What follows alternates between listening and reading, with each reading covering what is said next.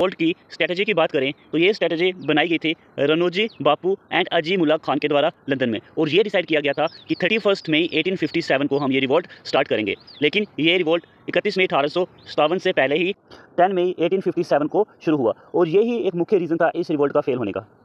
और उस समय की अगर हम बात करें तो ब्रिटेन का एम जो था वो था पॉम्स्टन और गवर्नर जनरल था भारत में लॉर्ड कैनिंग और उस समय ब्रिटिश क्राउन कौन था क्वीन विक्टोरिया मुगल एम्पर की बात करें तो हम सब जानते हैं बहादुर शाह जफ़र और बहादुर शाह जफ़र का सेनापति कौन था वो था बख्त खान ठीक है अगर ब्रिटिश आर्मी चीफ की बात करें तो वो था जॉर्ज एनिसन ठीक है लेकिन जब रिवोल्ट शुरू होता है तो जॉर्ज एनिसन की जगह कॉलिन कम्बेल को नियुक्त कर दिया जाता है 1857 का रिवोल्ट जो था ये काफ़ी फेमस था ठीक है काफ़ी प्रसिद्ध था और बहुत सारी बुक्स जो थी वो इसमें लिखी गई आइए तो कुछ इंपॉर्टेंट बुक्स के बारे में डिस्कस करते हैं